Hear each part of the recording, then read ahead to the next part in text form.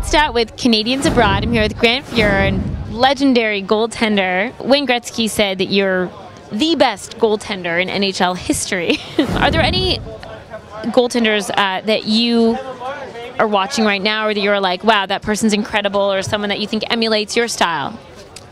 Um, not so much that emulate my style, but Marty Brodeur is probably the closest to one of the throwback goalies. And I think you can see by his numbers and what he's accomplished over the years how good he really is. And as for some of the younger guys, still a big fan of Miikka Kiprusoff in Calgary. He's extremely talented.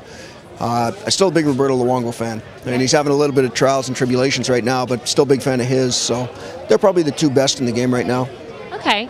Now, um, on the golf side, you play regularly in the American Century Championship golf tournaments, and uh, some say Rick Rhoden might be a good contender for this tournament for you. Are there any other of the celebrities that are uh, competing in this that are someone that's competition for you?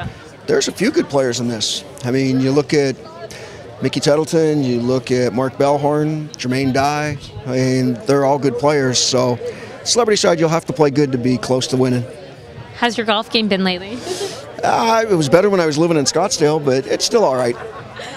Now, one question that's off the books here that I didn't actually uh, think about um, with your uh, with hockey, do you find any similarities with your training to golf?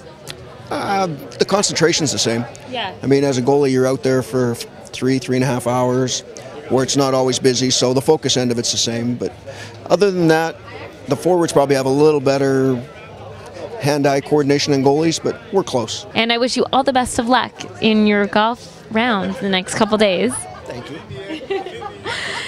Samantha Goodstadt here with Grant Fuhr, and you've been watching Canadians Abroad.